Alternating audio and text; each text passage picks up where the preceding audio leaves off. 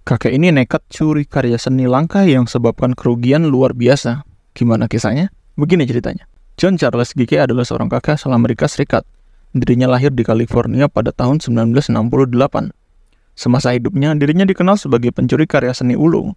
Diketahui Gilkey sudah mencuri buku, novel, dan dokumen serial terkenal. Sebagai petunjuk, dirinya menggunakan sebuah pedoman buku tentang 100 novel terbaik.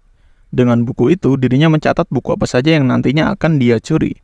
Tidak tanggung-tanggung, total barang curiannya itu mencapai angka 200 ribu US dollar atau sekitar 3 triliun rupiah. Sungguh di luar nalar.